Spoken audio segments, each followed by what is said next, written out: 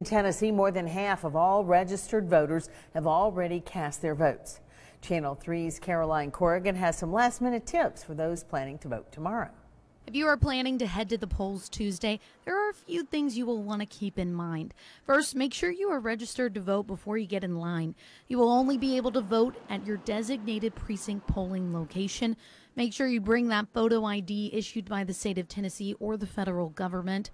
Hamilton County Elections Programmer Nate Foster says they want to remind voters in Tennessee that state law does not allow any campaign material inside the polls. We want to make sure uh, that people don't wear inside 100 feet of the polling place, that they wear any sort of campaign materials that uh, basically try to encourage people to vote for or against any candidate or issue that appears on the ballot. If you show up with campaign material, Foster says they will ask you to turn it inside out. If you are an individual who would have trouble standing in a line, you can request with any election official to be brought to the front of the line, and that is also Tennessee law.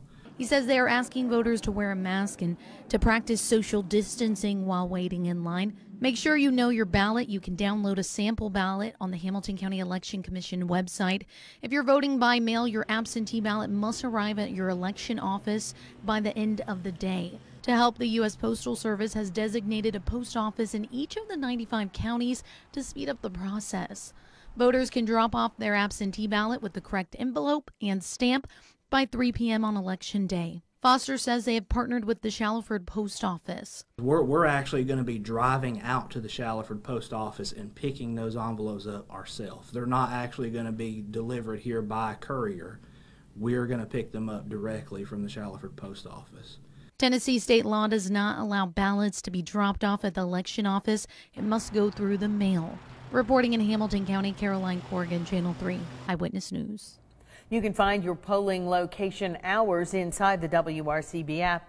In Georgia, all locations are open from 7 a.m. to 7 p.m. And as long as you are in line by 7 o'clock tomorrow evening, you will be allowed to vote.